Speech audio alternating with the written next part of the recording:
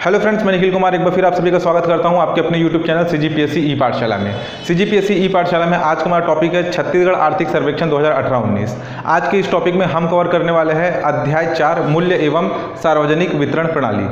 जैसे कि मैंने आप लोग को पहले ही बताया था कि मैं ये छत्तीसगढ़ आर्थिक सर्वेक्षण का एक नोट्स पीडीएफ तैयार कर रहा हूँ। टाइप होकर के पूरा एक कंप्लीट पीडीएफ रेडी हो चुका है। लेकिन जैसे आपको नॉर्मली पीडीएफ पहले मिलता था, वैसे पीडीएफ नहीं मिलेगा। पिछले कुछ घटनाक्रमों से सीख लेते हुए कि जिस प्रकार पीडीएफ ऐसे ही सोशल मीडिया पे शेयर हो जा रहे थे और चोरी हो जा रहे थे तो इस कारण से अब पीडीएफ नॉर्मली नहीं मिलेगा। बुक पब्लिश करने की प्लानिंग है। अब बुक के लिए अब थोड़ा मार्केट देखना पड़ेगा डिस्ट्रीब्यूटर से कॉन्टैक्ट करना पड़ेगा। तो मोस्ट प्रोबेबली आपके एक से डेढ़ महीने में आपका मतलब मार्केट में आपको बुक अवेलेबल हो जाएगा। तो चलिए, ठीक है। कब जैसे भी अगर बुक से रिलेटेड कोई भी अपडेट रहेगा तो मैं आपको इन्फॉर्म कर दूँगा किसी न किसी एक वीडियो में। ठीक? तो चलिए, शुरू करते हैं। देखिए, सार्वजनिक वितरण प्रणाली। सार्वजनिक वितरण प्रणाली, समझिएगा। खाद्य एवं पोषण सुरक्षा अधिनियम। खाद्य एवं पोषण सुरक्षा अधिनियम 2012 छत्तीसगढ़ में खाद्य एवं पोषण सुरक्षा अधिनियम लाया गया है आपके वर्ष 2012 में। वर्ष 2012 में प्रदेश में खाद्य एवं पोषण सुरक्षा अधिनियम लाया गया। ध्यान देने वाली बात यह है कि छत्तीसगढ़ देश का पहला ऐसा राज्य है जिसने अपने अपने राज्य के नागरिकों के लिए खाद्य एवं पोषण सुरक्षा अधिनियम लाया। खाद्य एवं पोषण सुरक्षा अधिनियम राज्य में लागू करने वाला पहला राज्य है हमारा छत्तीसगढ़, पूरे देश में। अखिल भारतीय स्तर पर राष्ट्रीय खाद्य सुरक्षा अधिनियम आया था आपके 2013 में।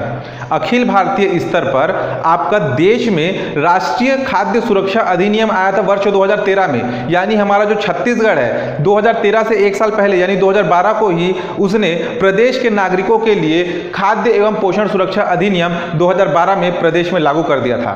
तो याद रखिएगा, छत्तीसगढ़ देश का पहला ऐसा राज्य है जिसने अपने राज्य के नागरिकों के लिए आपका खाद्य सुरक्षा अधिनियम लाया। इंपॉर्टेंट है, याद रखना है। नेक्स्ट है, उचित मूल्य की दुकानें।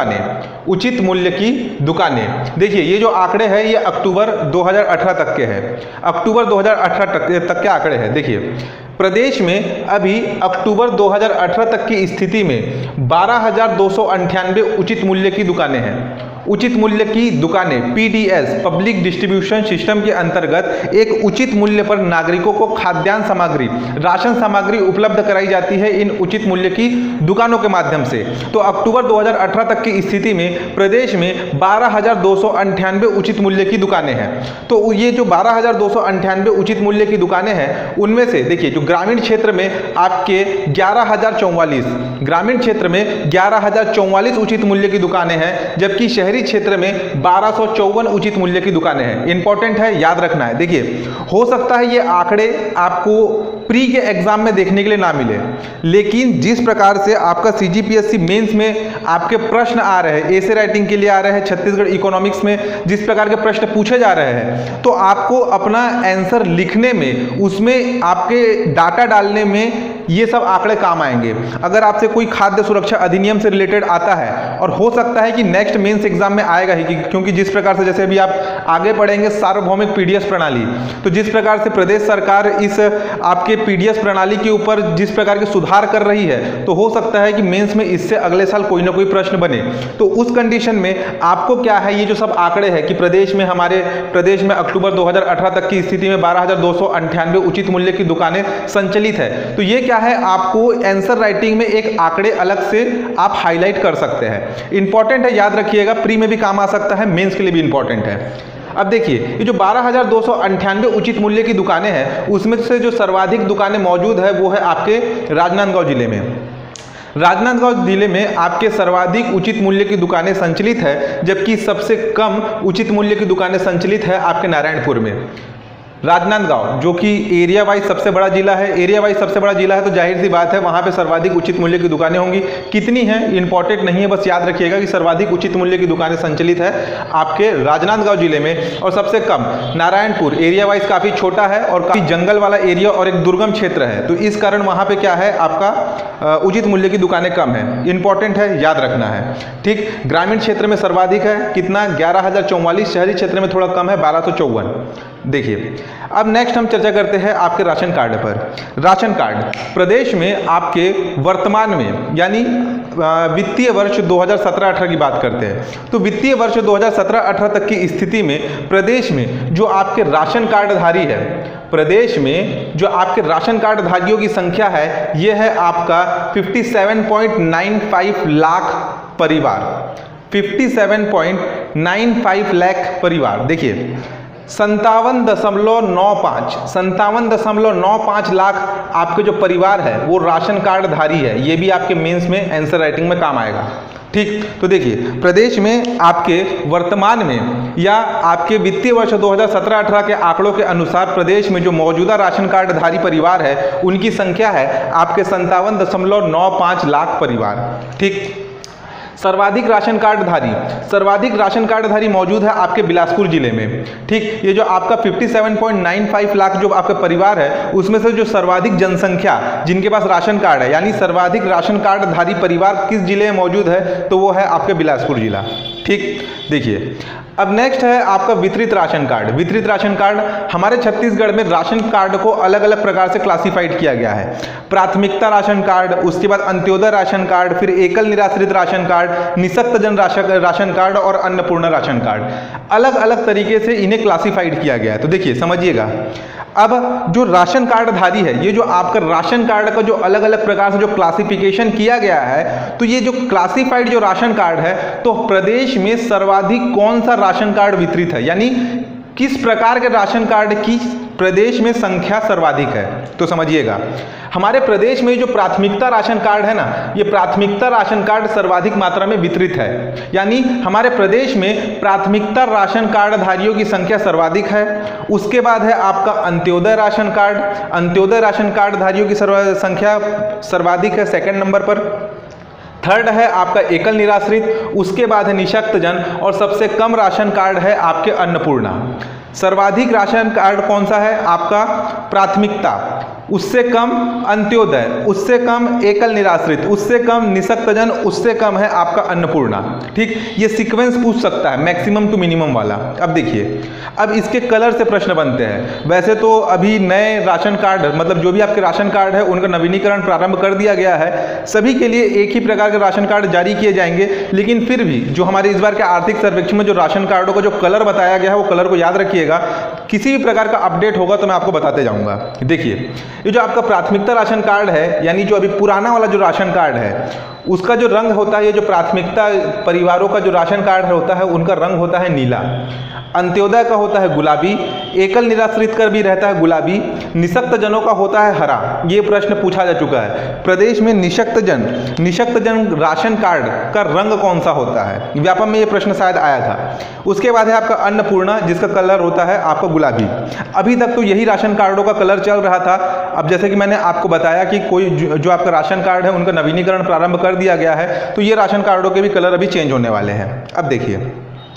नेक्स्ट है आपका खाद्यान्न सामग्री आवंटन। अब ये जो उचित मूल्य की दुकानें हैं, इन उचित मूल्य की दुकानों के माध्यम से किस खाद्यान्न पदार्थ का, किस खाद्यान्न पदार्थ का या बोल सकते हैं किस राशन का, किस राशन, जो राशन सामग्री है, कौन से राशन सामग्री का सर्वाधिक वितरण किया गया? वित्तीय वर्ष 2018-19 में।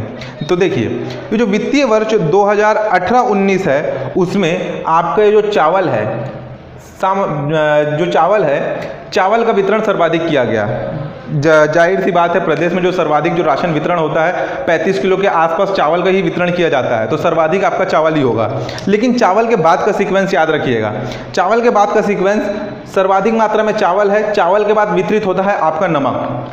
चावल के बाद वितरित होने वाला, जो आपका चावल के बाद सर्वाधिक वितरित होने वाला जो राशन सामग्री है, वो है आपका नमक। उसके बाद वितरित होता है आपका शक्कर शक्कर के बाद आपका वितरित होता है चना। ठीक? सर्वाधिक मात्रा में कौन सा राशन सामग्री प्रदेश में वितरित होता है? चावल। चावल के बाद नमक। नमक के बाद शक्कर। शक्कर के बाद होता है चना।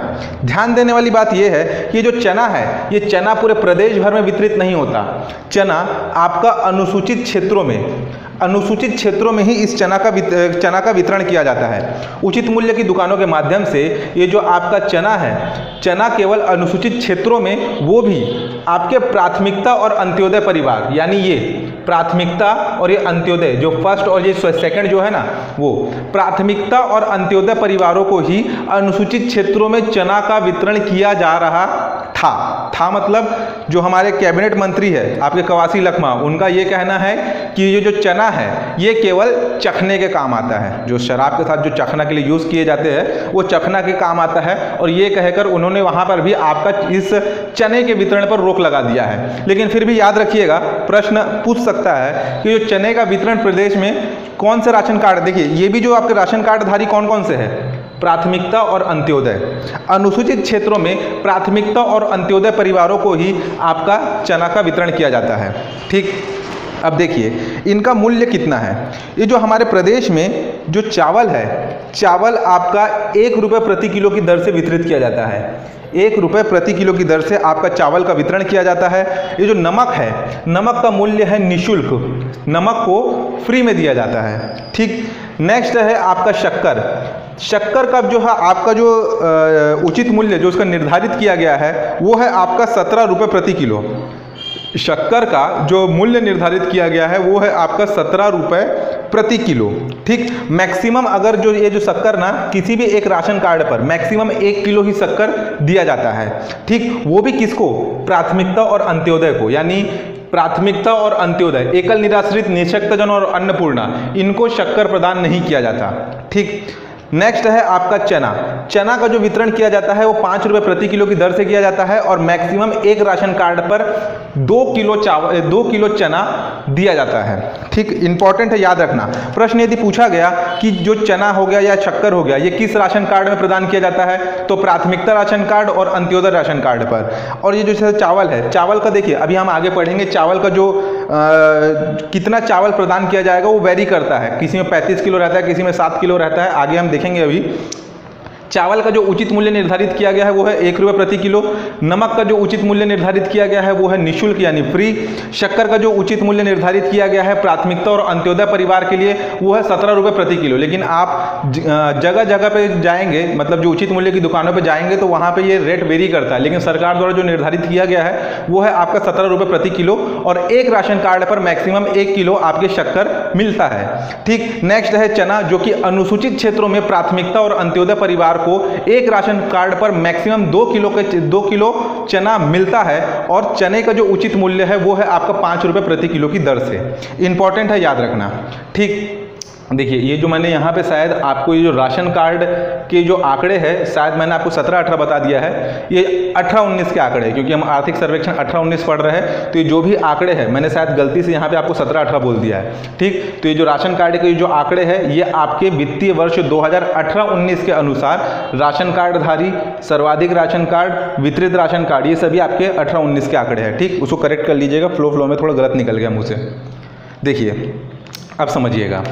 सार्वभौमिक पीडीएस सार्वभौमिक पीडीएस मतलब जो छत्तीसगढ़ की जो प्रदेश सरकार है, यानी नई जो सरकार बन करके आई है, वो मैक्सिमम आपके किसानों पर और इस खाद्य सुरक्षा के ऊपर ज़्यादा ध्यान दे रही है और कुछ नए नए कैबिनेट निर्णय लिए जा रहे हैं इस खाद्य सुरक्षा अधिनियम पर। तो समझिएगा, प्रदेश में अभी वित्तीय वर्ष दो हज़ार के आंकड़ों के अनुसार अभी आपका फिफ्टी लाख परिवारों के पास अभी आपका राशन कार्ड मौजूद है। तो इन्हीं परिवारों को आपका उचित मूल्य की दुकानों के माध्यम से आपका राशन मिलता है। लेकिन अब छत्तीसगढ़ सरकार ने, जैसे मैंने आपको बताया कि अभी प्रदेश में राशन कार्ड का नवीनीकरण प्रारंभ हो गया है तो ये जो छत्तीसगढ़ में अब जो कैबिनेट के द्वारा निर्णय लिया गया है कि प्रदेश के प्रदेश के सभी पैंसठ लाख परिवारों को प्रदेश के सभी पैंसठ लाख परिवारों को राशन कार्ड वितरित किया जाएगा। वित्तीय वर्ष 2000 वित्तीय वर्ष 2018-19 के अनुसार प्रदेश में राशन कार्ड धारियों की संख्या कितनी है? 57.95 लाख परिवार। लेकिन अभी जो प्रदेश में जो नई सरकार बनी है, जो कांग्रेस की नई सरकार बनी है, उसके द्वारा यह निर्णय लिया गया है इस खाद्य सुरक्षा के अंतर्गत कि प्रदेश के सभी पैंसठ लाख परिवारों का पैंसठ लाख परिवारों का आपका राशन कार्ड बनेगा। इसके अलावा जो निर्णय लिया गया है वो है प्रति राशन कार्ड। प्रति राशन कार्ड 35 किलो तक चावल दिया जाएगा। यानी एक राशन कार्ड पर 35 किलो तक चावल दिया जाएगा। ये क्या है? तक। इस, ये क्या है? आगे वेरी होगा, अभी हम देखेंगे। प्रति राशन कार्ड पर 35 किलो तक चावल दिया जाएगा। पाँच से अधिक सदस्य, यहाँ मैंने लिखा है फाइव प्लस यदि किसी परिवार में पाँच से अधिक सदस्य है, यानी पाँच सदस्य तक तो 35 किलो चावल दिया जाएगा, लेकिन यदि किसी परिवार में पाँच से अधिक सदस्य हो जाते हैं तो प्रति सदस्य, यानी जितने भी एक्स्ट्रा सदस्य है, प्रति सदस्य सात किलो अतिरिक्त चावल दिया जाएगा। यानी किसी परिवार में छह सदस्य हो गए तो 35 किलो प्लस आपका सात किलो चावल, दो सदस्य हो गए तो 35 किलो प्लस 14 किलो चावल, ऐसे टाइप का। प्रति सदस्य सात किलो अतिरिक्त चावल प्रदान किया जाएगा। एपीएल परिवारों को एपीएल परिवार मतलब above the poverty line BPL परिवार एपीएल परिवार। बीपीएल परिवार जो कि गरीबी रेखा से नीचे है एपीएल परिवार जो कि गरीबी रेखा से ऊपर है, जिनका जस्ट अभी अभी उन्होंने मतलब थोड़ा आर्थिक रूप से संपन्न हुए हैं, उन्हें कहा जाता है एपीएल गरीबी रेखा से नीचे बीपीएल बस इतना याद रखिए। एपीएल परिवारों को एपीएल परिवारों को दस रुपये प्रति किलो की दर से चावल वितरित किया जाएगा। ठीक? ये आंकड़े याद रखना सबसे ज़्यादा इंपॉर्टेंट है, ये। अपडेट हुआ है अभी। दस रुपये प्रति किलो की दर से आपका चावल वितरित किया जाएगा। देखिए, मैं आप लोग को जो चीज़ समझा रहा हूँ, उसको समझना। बहुत लोग के मैसेज आते हैं व्हाट्सअप में फेसबुक में यूट्यूब के कमेंट सेक्शन में कि छत्तीसगढ़ के आर्थिक सर्वेक्षण को जल्दी जल्दी कंप्लीट कराइए। देखिए कंप्लीट कराने के लिए जो आर्थिक सर्वेक्षण में जो भी आंकड़े दिए हुए हैं, मैं उसको पूरे एक महीने में कंप्लीट करा सकता हूँ। लेकिन कंप्लीट इसलिए नहीं करा रहा हूँ इन कारणों से। जो प्रदेश में जो नई सरकार आई है ना, वो कुछ ऐसे निर्णय ले रहे हैं जो कंटिन्यू अपडेट हो रहे हैं। अगर मैं इन चीज़ों को अभी इतना जल्दी जल्दी बताने लग गया तो क्या होगा कि बाद में हम ही को दिक्कत आएगा कि बाद में आंकड़े हम अपडेट कर रहे हैं कि इस अध्याय के इस आंकड़ों को अपडेट कीजिए, इस अध्याय के दूसरे आंकड़े को अपडेट कीजिए। देखिए, जैसे मैं पिछले बार जो मैंने आर्थिक सर्वेक्षण पढ़ा तो भी हमारा लगभग एक साल खींचा था। क्यों? क्योंकि छत्तीसगढ़ में जो आपका आर्थिक सर्वेक्षण तो फरवरी को पब्लिश हो जाता है, लेकिन छत्तीसगढ़ में डिपार्टमेंट के हिसाब से, यानी हर एक विभाग का एक प्रशासनिक प्रतिवेदन भी जारी होता है। बहुत कम लोग को ये मालूम होगा। जैसे हमारे यहाँ पूरे छत्तीसगढ़ में हर, पूरे सभी डिपार्टमेंट का मिलाकर के एक आर्थिक सर्वेक्षण निकलता है, वैसे ही पर्टिकुलर एक एक डिपार्टमेंट का इंडिविजुअल भी आर्थिक सर्वेक्षण निकलता है, जिसे कहा जाता है प्रशासनिक प्रतिवेदन। यानी हर एक विभाग का साल भरे का लेखा जोखा होता है। जैसे खनिज डिपार्टमेंट का, जो आपका खनिज विभाग का अभी कुछ समय पहले ही आपका प्रशासनिक प्रतिवेदन आया है, उसी प्रकार से खाद्य विभाग का आएगा।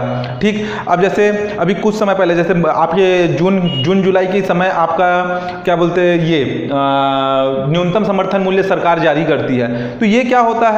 आर्थिक सर्वेक्षण हमारा फरवरी में रहता है, लेकिन कुछ कैबिनेट निर्णय ऐसे लिए जाते हैं, जैसे आपका ये जो न्यूनतम समर्थन मूल्य है, ये ये एकदम फिक्स रहता है कि जून, जुलाई के आसपास आपके न्यूनतम समर्थन मूल्य के जो न्यूनतम समर्थन मूल्य जो दिए जाते हैं फ़सलों पर, उसका निर्णय लेगा ही कैबिनेट। तो हड़बड़ाइए मत। ये क्या है? अब एक आइडिया हो चुका है हमें भी कि कब कब आपके कौन कौन से डाटा अपडेट होने वाले हैं किस किस मंथ में कौन कौन सा डाटा अपडेट होगा। तो उस कारण से वीडियो थोड़ा डिले होता है। तो डिले होने का कारण ये है कि आपको एकदम अपडेटेड आपको डाटा मिले। जैसे ये जो आपको सार्वभौमिक जो पीडीएस है ना, ये आपको आर्थिक सर्वेक्षण में नहीं मिलेगा। यहाँ से मैं आपको जितने भी आंकड़े बताने वाला हूँ, ये आंकड़े ये आंकड़े, ये आपको आर्थिक सर्वेक्षण की बुक में नहीं मिलने वाला, देख लेना आप। ठीक? तो जिस, मैं वीडियो जैसे डालता हूँ, मुझे अपने हिसाब से डालने दीजिए। हड़बड़ाइएगा मत। कमेंट करके इसी चीज़ों को बार बार पूछना मत। बस यही बताना था। देखिए, अब ये है आपका सार्वभौमिक पीडीएस सार्वभौमिक पीडीएस यानी जो कैबिनेट ने जो निर्णय लिया है, उसके हिसाब से समझिएगा।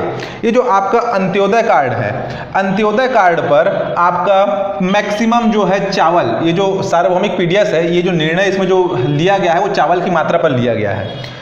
अंत्योदय राशन कार्ड पर मैक्सिमम 35 किलो चावल प्रदान किया जाएगा और उसका जो उपभोक्ता दर है वो एक रुपये प्रति किलो की दर से। यानी देखिए ये राशन कार्ड पर इससे पहले भी चावल मिलते थे, लेकिन अब प्रदेश सरकार खाद्य सुरक्षा पर थोड़ा ज़ोर दे रही है, यानी पैंसठ लाख परिवारों को राशन कार्ड प्रदान कर रही है और हर एक राशन कार्ड पर आपको 35 किलो तक चावल का उन्होंने निर्णय लिया है। तो देखिए कुछ कुछ राशन कार्ड पर अपडेशन हुआ है और जो कुछ राशन कार्ड है वो पहले के जैसे ही है जैसे अंत्योदय। इसमें किसी प्रकार का अपडेशन नहीं हुआ। पहले भी पैंतीस किलो चावल मिलता था एक रुपये किलो की दर से, अभी भी पैंतीस किलो चावल मिल रहा है। अपडेट कहाँ हुआ है? अपडेट हुआ है आपके प्राथमिकता परिवार में। प्राथमिकता परिवार में अपडेट हुआ है। प्राथमिकता परिवार में पहले था आपका पाँच सदस्य में प्राथमिकता परिवार में आपका पाँच सदस्य में पैंतीस किलो चावल और उसके बाद आपका सात रुपये की दर से मिलता था। लेकिन अब क्या हुआ है? प्राथमिकता परिवार में, समझिएगा, अगर प्राथमिकता, अगर कोई एक ही व्यक्ति है एक ही व्यक्ति है। एक राशन कार्ड के ऊपर डिपेंड रहने वाला यदि एक ही व्यक्ति है तो उसे केवल 10 किलो चावल मिलेगा। अगर एक राशन कार्ड के ऊपर डिपेंड रहने वाले दो व्यक्ति है, यानी परिवार में केवल दो सदस्य है, प्राथमिकता राशन कार्डधारी परिवार में यदि केवल दो सदस्य है तो उन्हें 20 किलो चावल दिया जाएगा। प्राथमिकता राशन कार्डधारी परिवार में यदि तीन से पाँच सदस्य है, तीन सदस्य हो या चार सदस्य हो या पाँच सदस्य हो, यानी मैक्सिमम पाँच सदस्य है, तीन से पाँच सदस्य है तो उन्हें पैंतीस किलो चावल प्रदान किया जाएगा।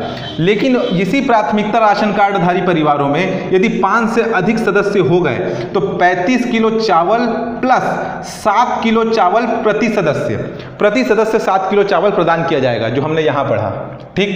पहले प्राथमिकता परिवार में आपका प्रति सदस्य सात किलो चावल के दर से दिया जाता था। लेकिन अब इसमें चेंज कर दिया गया है। एक सदस्य है तो दस किलो, दो सदस्य हुए आपके परिवार में तो बीस किलो, तीन से पाँच सदस्य हुए तो पैंतीस किलो, पाँच से अधिक सदस्य हुए तो पैंतीस किलो प्लस सात किलो प्रति सदस्य।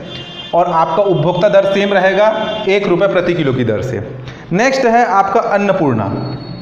अन्नपूर्णा में भी कोई चेंज नहीं हुआ है। पहले भी जैसा था वैसे ही है। 35 किलो चावल दिया जाएगा, लेकिन समझिएगा, इसमें जो अन्नपूर्ण राशन कार्डधारी है, अन्नपूर्ण राशन कार्डधारी में 35 किलो चावल दिया जाएगा, लेकिन 35 कैसे? 10 किलो प्लस 25 किलो। यानी ये जो 10 किलो चावल है 35 किलो में से जो 10 किलो चावल है, ये आपका निशुल्क रहेगा और 25 किलो चावल एक रुपये प्रति किलो की दर से। इंपॉर्टेंट है, प्रश्न पूछ सकता है, समझिएगा इसको, ठीक? अन्नपूर्ण राशन कार्ड पर आपका 35 किलो तक का चावल प्रदान किया जाएगा। इस 35 किलो चावल में से 10 किलो चावल निशुल्क और आपका 25 किलो चावल एक रुपये प्रति किलो की दर से मिलेगा। ठीक। नेक्स्ट है आपका निराश्रित। निराश्रित राशन कार्ड पर आपका 10 किलो तक चावल। इसमें 35 किलो नहीं, इसमें 10 किलो। इसमें भी किसी प्रकार का चेंज नहीं हुआ है। पहले भी 10 किलो मिलता था, अभी भी 10 किलो मिलेगा। निराश्रित राशन कार्ड पर 10 किलो चावल निशुल्क मिलेगा। समझिएगा, ये निशुल्क है। 35 किलो चावल एक रुपये किलो की दर से मिल रहा है, लेकिन यहाँ पे एकल निराश्रित। एकल निराश्रित मतलब जैसे कोई विधवा महिला हो गई जो अकेले रह रहे हैं। ठीक, ऐसा कोई है? एकल निराश्रित है, जिसका कोई सहारा नहीं है। तो ये जो निराश्रित है, निराश्रित को 10 किलो केवल, मात्र 10 किलो चावल मिलेगा, एक ही व्यक्ति है। 10 किलो चावल मिलेगा, वो भी निःशुल्क। प्रश्न पूछ सकता है मैच द फॉलोइंग में। इंपॉर्टेंट प्रश्न है, अभी तक पूछा नहीं गया, लेकिन पूछ सकता है। निशक्त जन निशक्त जन लोगों को भी आपका 10 किलो चावल मिलेगा, वो भी निशुल्क। दोनों निशुल्क है, निराश्रित और निशक्त जन, दोनों नी नी से है, याद करने में आसानी होगा। ठीक? नी से निराश्रित, नी से निशुल्क, नी से निशक्त जन, नी से निशुल्क। ठीक? 10 किलो चावल निशुल्क दिया जाएगा। फिर है आपका एपीएल परिवार। एपीएल परिवार, ये अपडेट हुआ है एपीएल परिवार कार्डधारियों को 35 किलो चावल, दस रुपये प्रति किलो की दर से। यहाँ ध्यान देना, एक रुपये प्रति किलो नहीं है। एपीएल परिवार कार्डधारियों को 35 किलो चावल, दस रुपये प्रति किलो की दर से प्रदान किया जाएगा।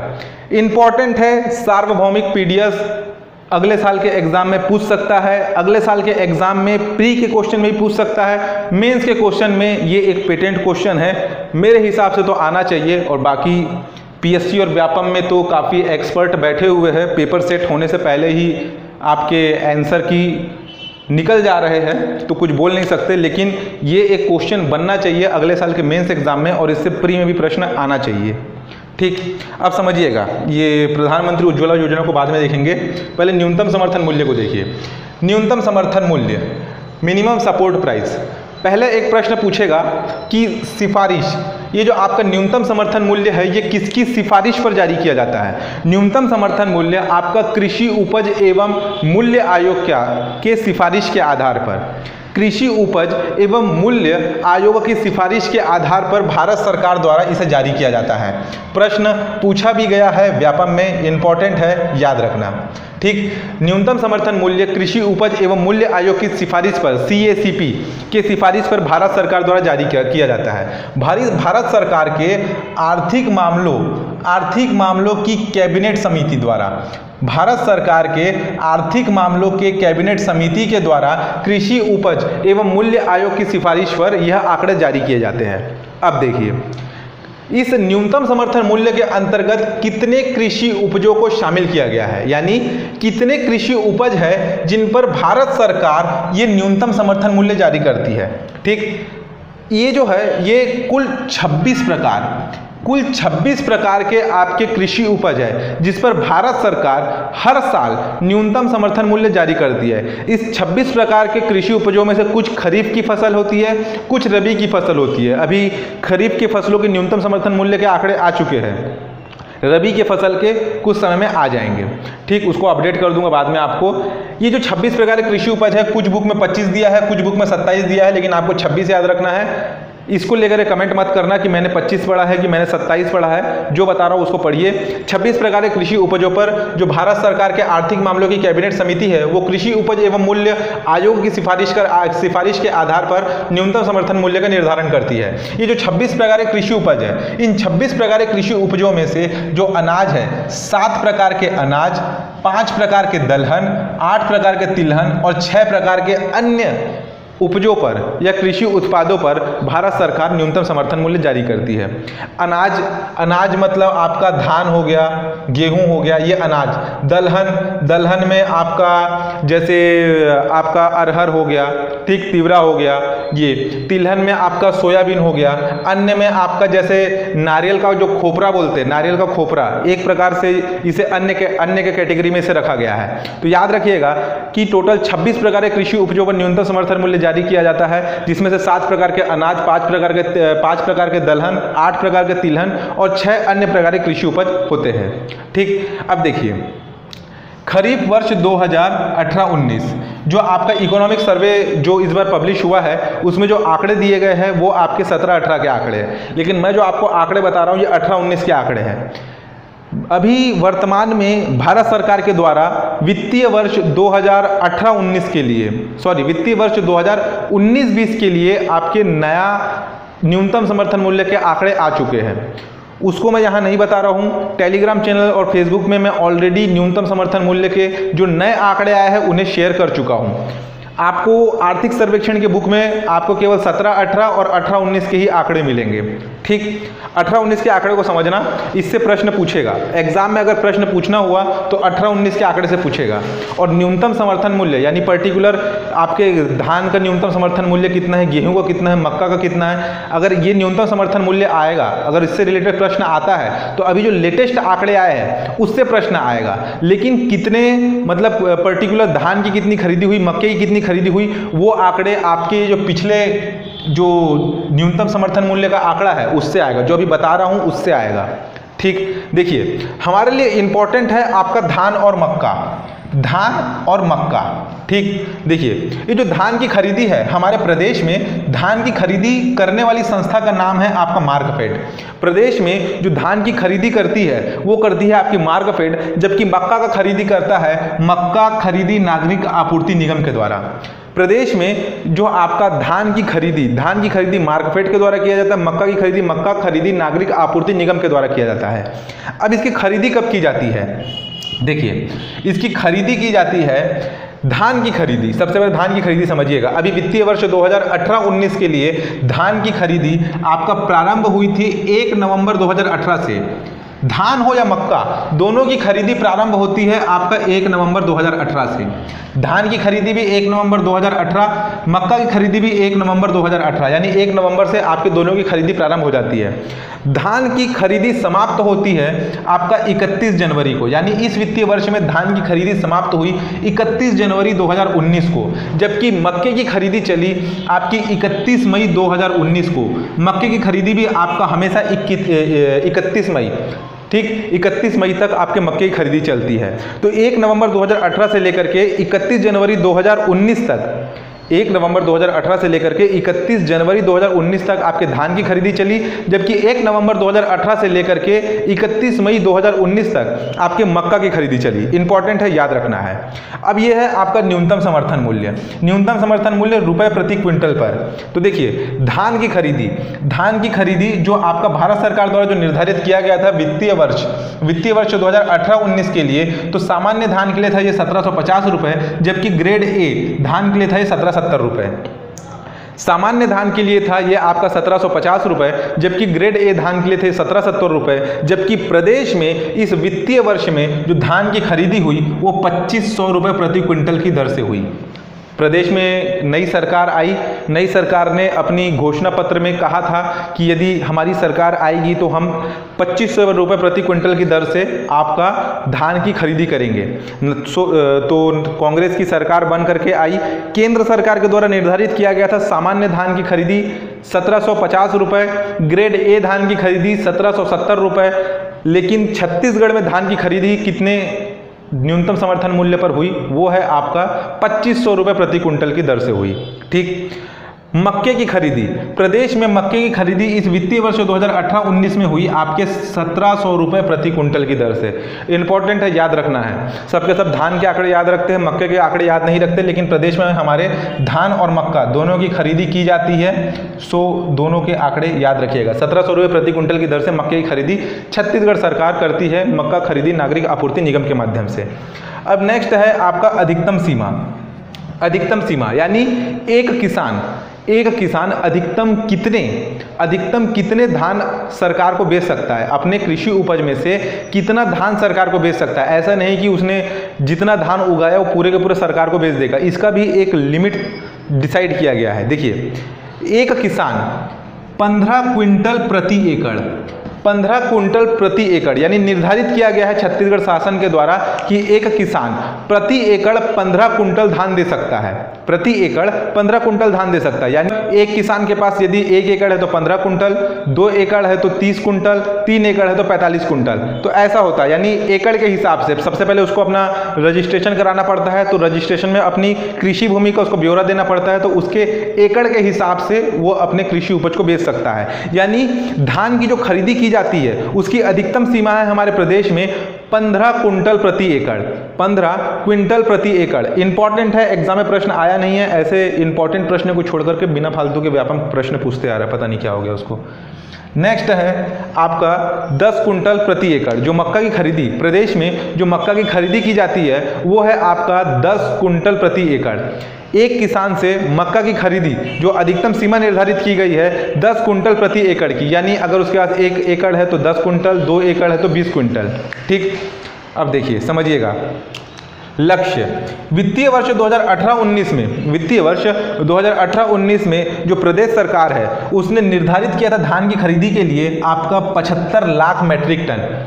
धान खरीदी का लक्ष्य रखा था प्रदेश सरकार ने 75 लाख मैट्रिक टन लेकिन इस निर्धारित लक्ष्य से ज़्यादा धान की खरीदी हुई। इस वित्तीय वर्ष 2018-19 में प्रदेश में जितना लक्ष्य निर्धारित किया गया था, उससे ज़्यादा धान की खरीदी हुई और ये धान की खरीदी अभी तक प्रदेश में हुई धान की खरीदी में सर्वाधिक है। अभी तक जो प्रदेश सरकार द्वारा जो धान की खरीदी की गई, उसमें से सर्वाधिक खरीदी इस वित्तीय वर्ष में की गई। लक्ष्य निर्धारित किया गया था 35 लाख मैट्रिक टन का, लेकिन आपके जो आंकड़े सामने आए, अंतिम आंकड़े, वो है आपके अस्सी दशमलव तीन नौ लाख मैट्रिक टन। अस्सी दशमलव तीन नौ लाख मैट्रिक टन धान की खरीदी की गई आपके वित्तीय वर्ष 2018-19 में। ठीक, इंपॉर्टेंट है याद रखना, लगभग पाँच लाख मैट्रिक टन अधिक धान की खरीदी की गई है। निर्धारित किया गया था पचहत्तर लाख मैट्रिक टन धान की खरीदी की गई आपके अस्सी दशमलव तीन नौ लाख मैट्रिक टन का। ठीक, इससे रिलेटेड आंकड़े मैं आपको करंट अफेयर में और अपडेट कर चुका हूँ कि किस आपके ज़िले से सर्वाधिक धान की खरीदी की गई, किस ज़िले से न्यूनतम धान की खरीदी की गई, वो हम करंट अफेयर में कवर कर चुके हैं। नेक्स्ट जो मक्का की खरीदी है, प्रदेश में मक्के की खरीदी की गई है मतलब मक्के की खरीदी का जो निर्धारित लक्ष्य है, निर्धारित लक्ष्य जो रखा गया था वो था आपका चालीस हज़ार टन का। प्रदेश में वित्तीय वर्ष 2018-19 में आपका मक्का खरीदी नागरिक आपूर्ति निगम के माध्यम से छत्तीसगढ़ सरकार ने मक्का खरीदी का लक्ष्य निर्धारित किया था आपका चालीस हज़ार टन, चालीस हज़ार टन। ठीक, मक्का खरीदी का जो लक्ष्य रखा है आपके प्रदेश सरकार ने, वो रखा था आपका चालीस हज़ार टन का। लेकिन इसकी खरीदी कितनी हुई है, ये आंकड़े अभी तक सामने नहीं आए हैं। मई में इसकी खरीदी पूरी कंप्लीट हो गई है इकतीस मई को, लगभग एक दो महीने का समय लगता है, लेकिन अभी तक इस मक्का अंतिम रूप से कितने मक्के की खरीदी की गई, ये आंकड़े अभी तक सामने नहीं आए हैं, केवल लक्ष्य के आंकड़े हैं। यदि किसी को पता होगा तो नीचे कमेंट करके बता देना कि इस वित्तीय वर्ष 2018-19 में प्रदेश सरकार के द्वारा कितने धान की खरीदी की गई? लक्ष्य तो आपका चालीस हज़ार टन का चालीस हज़ार टन का था, लेकिन कितने धान की खरीदी हुई? ये अगर किसी को पता होगा तो नीचे कमेंट करके बता देना। ठीक? तो ये सारे आंकड़े इंपॉर्टेंट है। अब एक बस्ता है आपका प्रधानमंत्री उज्ज्वला योजना। प्रधानमंत्री उज्ज्वला योजना, ये प्रारंभ हुआ था आपका 1 मई 2016 को। 1 मई 2016 को उत्तर प्रदेश के बलिया ग्राम से इस प्रधानमंत्री उज्ज्वला योजना का प्रारंभ किया गया था। इस प्रधानमंत्री उज्ज्वला योजना के अंतर्गत दो सौ अंशदान पर, दो सौ अंशदान पर आपका डबल बर्नर वाला चूल्हा और एक सिलेंडर भारत सरकार महिला हितग्राहियों को प्रदान करती थी। बीपीएल राशन कार्ड धारी या बीपीएल राशन कार्डधारी महिला हितग्राहियों को आपका दो सौ अंशदान पर डबल बर्नर वाला आपका चूल्हा और एक सिलेंडर भारत सरकार प्रदान करती थी। ठीक, इसमें जो है आपका सब्सिडी, जो भारत सरकार एक गैस चूल्हे की जो खरीदी में जो सब्सिडी जो सरकार देती है, वो है आपका पंद्रह सौ तीस रुपये। पंद्रह सौ तीस रुपये यदि हम एक्चुअल रेट देखें, जो आपका डबल बर्नर डबल बर्नर वाला चूल्हा और एक गैस सिलेंडर का यदि हम रेट देखें तो भारत सरकार को पड़ता है ये लगभग सत्रह सौ तीस का। तो दो सौ रुपये का अंशदान, और जिसमें सब्सिडी प्रदान कर रही है पंद्रह सौ तीस रुपये भारत सरकार। ठीक? यानी भारत सरकार को आपका एक हितग्राही के ऊपर पंद्रह सौ तीस का आपका व्यय वहन करना पड़ रहा है। ठीक? प्रश्न पूछ सकता है कि प्रधानमंत्री उज्ज्वला योजना के अंदर कितने रुपए अंशदान पर आपका डबल बर्नर वाला चूल्हा और सिलेंडर प्रदान किया जा रहा है तो वो है दो सौ रुपये अंशदान पर। प्रधानमंत्री उज्ज्वला योजना के अंतर्गत कितनी सब्सिडी, प्रति हितग्राही कितनी सब्सिडी दी जा रही है तो वो है आपका पंद्रह सौ प्रति हितग्राही। ठीक?